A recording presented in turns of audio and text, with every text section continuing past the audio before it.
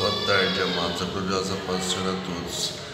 Creia em milagres, eles existem porque o teu Redentor, o teu Salvador está vivo. Ele não morreu, ele ressuscitou. Ele foi ao teu inferno, tomou as chaves da morte do inferno do diabo.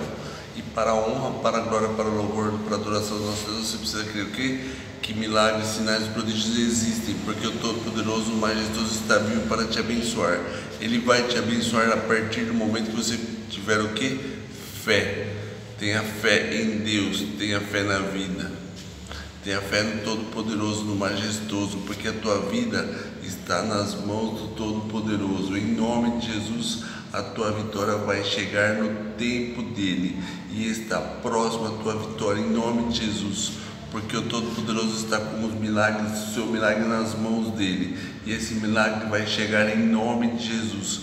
Creia, teu milagre está chegando. Em nome de Jesus, eu profetizo cura, libertação dessas, dessa prisão que você está vivendo há tempos, para a honra, para a glória, para o louvor, para a adoração do nosso Deus, liber, libertação.